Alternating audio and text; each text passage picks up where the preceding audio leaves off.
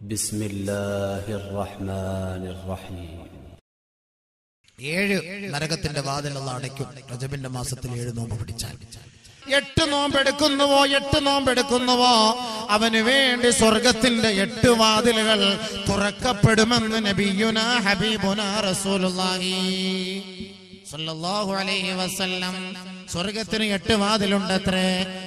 പരിശുദ്ധ ഖുർആാനും ആ ഭാഗം ചർച്ച ചെയ്യുന്നുണ്ട്. ആ എട്ട് വാതിൽക്കലിലൂടെ അവൻ ഇഷ്ടപ്പെടുന്ന വാതിലിലൂടെ സ്വർഗത്തിൽ കടക്കാൻ അള്ളാഹു അവസരം നൽകുന്നത് ഈ റജബിന്റെ മാസത്തിൽ എട്ട് നോമ്പ് അനുഷ്ഠിക്കുന്നവർക്കാണ്. എട്ട് നോമ്പ്. ഫ്രീ ആയിട്ട് കിട്ടുന്ന ചാൻസ് ആണ് നിങ്ങൾ നോമ്പ് പിടിച്ചിട്ട് ഈ പി അബൂക്കർ മുസ്ലിയാർക്കുണ്ട് ഇതുവായിരുന്നേരം എട്ട് നോമ്പ് എട്ട് നോമ്പ് എട്ട് വാതിൽക്കൽ സ്വർഗത്തിൽ കിടക്കുന്നത് നബിയുന റസൂലുള്ളാഹി തങ്ങളെ വീണ്ടും പറയുകയാണ് വമൻ സാമ റജബിന്റെ മാസത്തിൽ പത്ത് നോമ്പ് അനുഷ്ഠിച്ചാൽ വജല്ല ശൈആ ഏതൊരു വസ്തുവിനെ കുറിച്ച് ചോദിക്കുന്നുവോ അവന്റെ ദുനിയവി ഉഹ്രവി കാര്യങ്ങളെ കുറിച്ച് ചോദിക്കുന്നുവോ നമസ്കാര പായയിലിരുന്ന് നിറകണ്ണുകളോടെ കരങ്ങൾ നീട്ടി പടച്ച തമ്പുരാന്റെ കോടതിയെ അള്ളാഹുവിന്റെ മുന്നിൽ സകലവും സമർപ്പിച്ചുകൊണ്ട് അള്ളാഹു റബ്ബുൽ ഇസ്സത്തിനോട് പൊട്ടിക്കരഞ്ഞുകൊണ്ട് അവന്റെ ദുനിയവി ഉഹ്രവി കാര്യങ്ങളെ ചോദിച്ചാൽ ഇല്ല അഅതാഹു. തട്ടിക്കളയുകയില്ല അള്ളാഹു അവന്റെ കണ്ണുനീരെ ഒപ്പിയെടുക്കുമത്രേ. അള്ളാഹു അവന്റെ ദുവാ സ്വീകരിക്കുമത്രേ. അള്ളാഹു അവനെ സന്തോഷിപ്പിക്കുമത്രേ. ഏതൊരു കാര്യത്തെ കുറിച്ചാണോ ഈ പത്ത് നോമ്പ് റജബിന്റെ മാസത്തിൽ അനുഷ്ഠിച്ചിട്ട് ചോദിച്ചത്? അവൻ ചോദിച്ചത് മുഴുവനും അള്ളാഹു അവന് നൽകുമെന്ന് നബിയുന റസൂലുള്ളാഹി. തങ്ങൾ പറഞ്ഞിട്ട് ഹദീസ് പൂർത്തീകരിക്കുകയാണ്. റിപ്പോർട്ട് ചെയ്യുന്ന ഹദീസാണ്.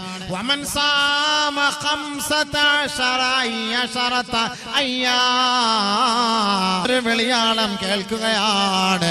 അത് ഗഫർതു ലക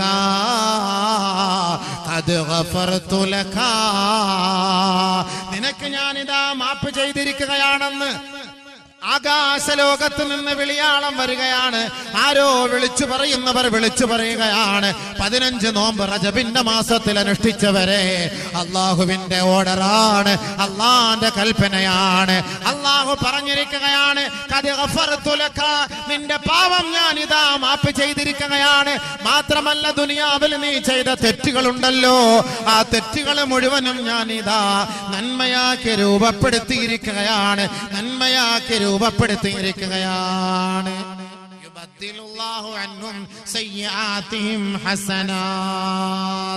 പതിനഞ്ച് നോമ്പെടുത്തവർ ഈ ദുനിയാവിൽ വെച്ച് ചെയ്ത തെറ്റില്ലേ? ആ തെറ്റൊക്കെ നന്മയാക്കി അല്ല മാറ്റും. മാറ്റും.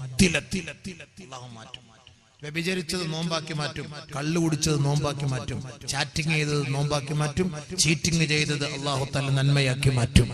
ലൈൻ അടിച്ചത് അള്ളാഹു തല നന്മയാക്കി മാറ്റും. പതിനഞ്ച് നോമ്പെടുക്കണം. പതിനഞ്ച് നോമ്പെടുക്കണം ഇനിയിപ്പോ ചാറ്റിംഗ് ചെയ്തിട്ട് പതിനഞ്ച് നോമ്പെടുത്തിട്ട് അടുത്ത പുതിയ ലൈൻ തെരഞ്ഞെടുത്ത് ഇനി അടുത്ത റജബ് വരുന്നുണ്ടല്ലോ അപ്പൊ നമുക്ക് ഇപ്പൊ ഇത് കഴിഞ്ഞിട്ട് നമുക്ക് അടുത്ത റജബിലേക്ക് വീണ്ടും ഒരു പതിനഞ്ച് നോമ്പെടുത്തിട്ട് തടി സലാമത്താക്കാം. അത് പറ്റൂല. അത് പള്ളിയിൽ പോയി പറഞ്ഞാൽ മതി. ആ പരിപാടി ഒന്നും നടക്കൂല. അങ്ങനെയല്ല എന്റെ അർത്ഥം. അങ്ങനല്ല അതിന്റെ അർത്ഥം അള്ളാഹെ പേടിച്ച് നമ്മൾ മനുഷ്യരാണ് തെറ്റുകൾ ചെയ്തു പോയി അള്ളാഹുവെ തെറ്റുകൾ ചെയ്തു പോയി അതിനൊരു പരിഹാരം എന്ന വണ്ണം അള്ളാഹുവെ നീ ഞങ്ങളെ കാത്തുരക്ഷിക്കണം അതിനു വേണ്ടിയിട്ട് ഞങ്ങൾ ഇതാ ഒരു പതിനഞ്ച് നോമ്പ് ഉം, പതിനഞ്ച് നോമ്പ് അള്ളാഹു തൗഫീഖ് നൽകുമാറാകട്ടെ اللهم بارك لنا في رجب وشعبان وبلغنا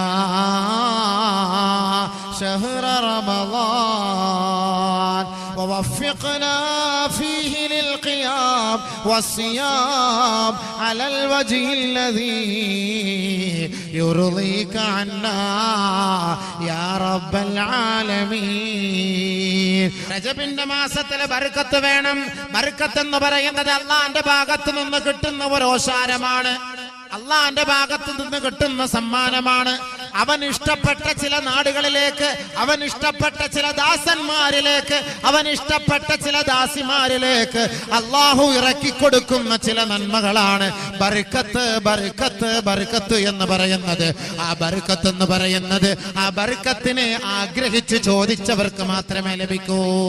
അല്ലാത്തവർക്ക് കിട്ടൂല. അല്ലാത്തവർക്ക് കിട്ടൂല. ബർക്കത്തിന് വേണ്ടി ആഗ്രഹിച്ചവർക്ക് കിട്ടുള്ളൂ. കല്യാണ സദസ്സിൽ പാട്ട് പാടിയിട്ട് ബർക്കത്തിന് വേണ്ടി ചോദിച്ചാൽ അള്ളാഹു തരികയില്ല. കിട്ടൂല. യാതൊരു സംശയവും വേണ്ട. കിട്ടൂല കിട്ടൂല.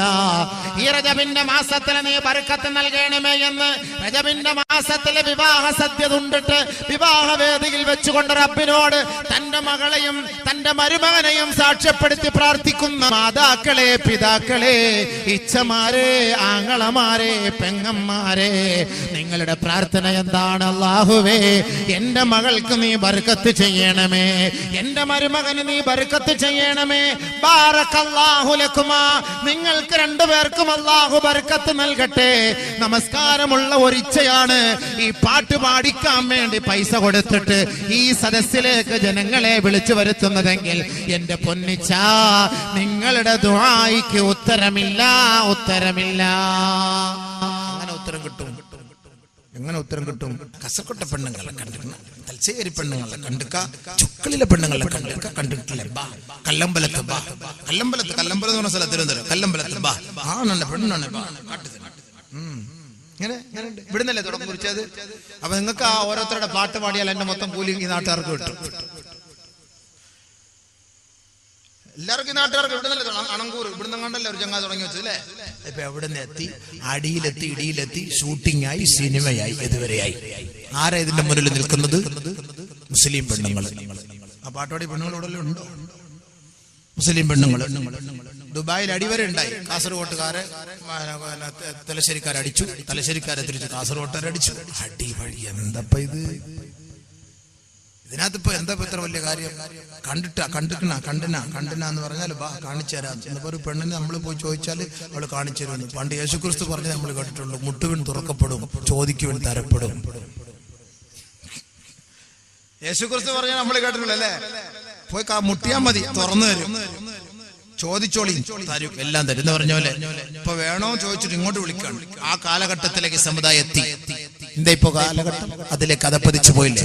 മുസ്ലിം പെൺകുട്ടികൾ ഒരു നാണമില്ലാതെ ലജ്ജയില്ലാതെ ലജ്ജയില്ലാതെ മുസ്ലിം പെൺകുട്ടികൾ പരസ്യമായി ഈ പാട്ട് പാടുമ്പോ ആയിരത്താണ്ട് വർഷങ്ങൾക്ക് മുമ്പ് ഹബീബായ റസൂലുള്ളാഹി തങ്ങളിലേക്ക് നിങ്ങളൊന്ന് നോക്കണേ.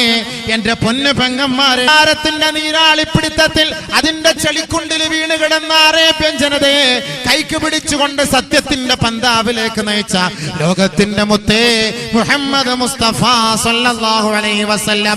ആ പ്രവാചകന്റെ അനുയായികളായ പെൺകുട്ടികളാണോ?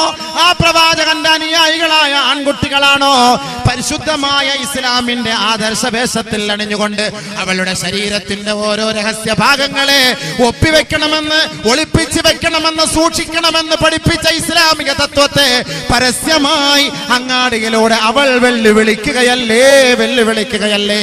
വാടോ നിനക്ക് ഞാൻ കാട്ടിത്തരാം. തന്റെ ഉണ്ടോ?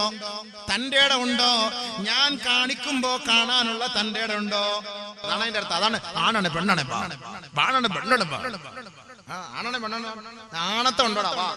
അല്ലതിന്റെ അർത്ഥം. ആണത്തം ഉണ്ടോ നിനക്ക്? പുരുഷത്വമുണ്ടോ? ആണത്തമുണ്ടോ? കടന്നു വാ. ഞാൻ കാണിച്ചു തരാം. എന്താ കാലഘട്ടം പോയ പോക്ക്?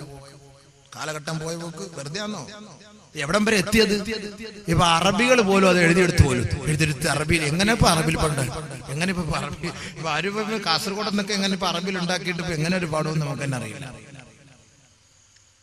تعال تعال تعال يا شوف لك يا اوريك اوريك يا اخي تعال تعال يا اخي اوريك يا اخي اوريك يا اخي അങ്ങനെ അങ്ങനെയല്ലേ ഒരു പാട്ടുണ്ടാക്കാൻ പറ്റില്ല ഇനിയിപ്പോ ഷിഫ്ത ഷിഫ്ത കണ്ടിട്ടുണ്ടോ ഷിഫ്ത മാഫി ഷിഫ്ത? താഴ് താഴ് താഴ്. കണ്ടിട്ടില്ലെങ്കിൽ വാ വാ വാ. വരിക്ക് വരിക്ക്. എന്നൊക്കെ ഞാൻ കാണിച്ചു കാണിച്ചു അങ്ങനെ വല്ല ആയിരിക്കും. തമാശ അറിഞ്ഞല്ല ഇപ്പൊ. ഞാൻ കണ്ടതാണ്. ഞാൻ നെറ്റിൽ ഇവിടെ അപ്പൊ ഗൾഫിൽ നിന്നൊരു സഹോദരൻ വിളിച്ചു പറഞ്ഞ അറബികൾ അത് എഴുതിയെടുത്തിരിക്കുന്നു അറബിയിൽ അതിന് ആ- രീതിയിലാക്കാൻ പോവാണ്. നിങ്ങൾക്ക് ഈ നാടിന് കിട്ടിയ വർക്കത്ത് വലിയ വർക്കത്ത് തന്നെ അത് കേട്ടാ. വല്ലാത്ത വർക്കത്ത് തന്നെ സംഭവം തന്നെ.